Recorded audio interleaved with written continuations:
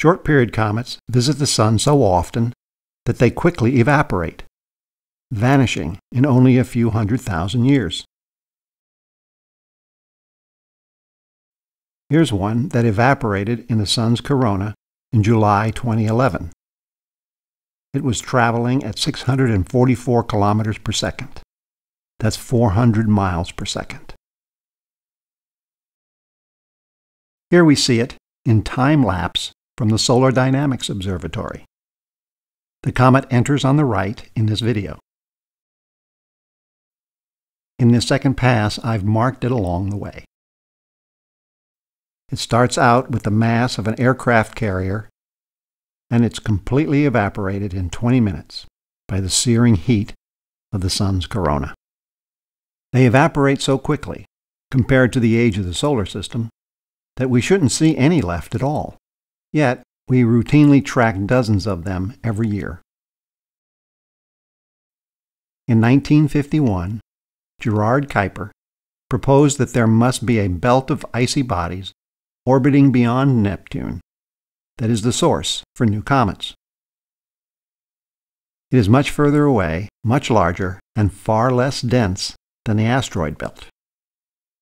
It starts at 30 astronomical units from the Sun and is 20 astronomical units wide. 1992 QB1 was the first Kuiper Belt object.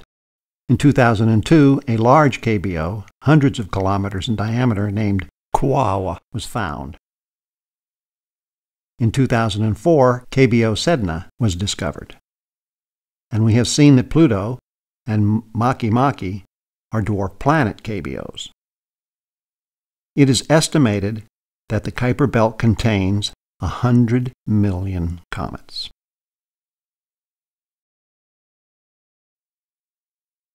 In 1950, in order to explain long period orbits, the Dutch astronomer Jan Oort proposed the existence of a cloud of comets between 5,000 and 55,000 astronomical units from the Sun. Other estimates have it going out much further. All estimates put the Oort cloud well outside the heliosphere. Oort estimated that this reservoir contains a hundred billion comets, maybe a trillion.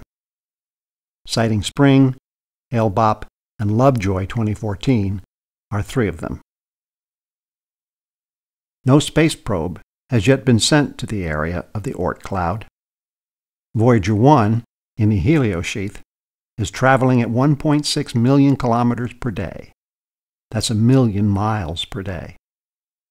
It will take over 1,200 years just to reach the Oort cloud, and over 12,000 years to pass through it.